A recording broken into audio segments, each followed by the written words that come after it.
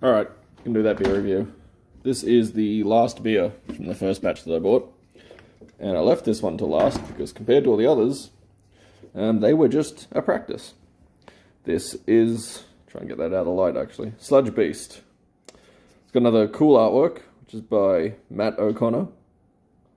It's by Little Bang, Little Bang Brewery, Little Bang Beer, something like that. It is 12% alcohol in a regular 375ml can, which should make it 3.6%.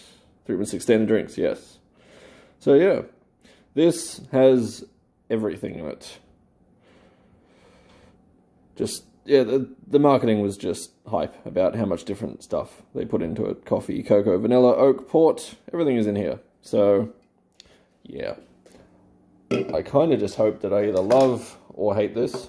I'm not really sure which, but I just, hopefully it's I don't know, got a strong flavour. So.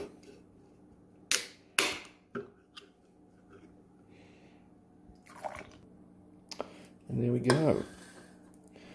So, very dark, good head on it, pretty thick looking. Um, yeah, I'm not really sure what this is going to be like.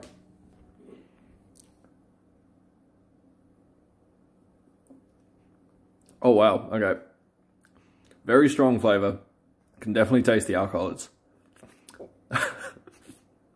in my moustache. Uh,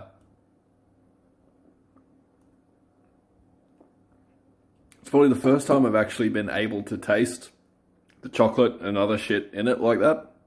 Um, yeah, very strong. Not a bad flavor though. I, I do actually like it.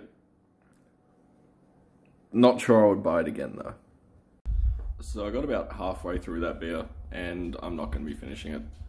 It it just has it's too strong a taste. It's got too much alcohol in it without being smooth the way a spirit or a liqueur is to drink on its own. Um, yeah, it's just not enjoyable. I'm not going to force myself through it. So yeah, I would not recommend that one at all.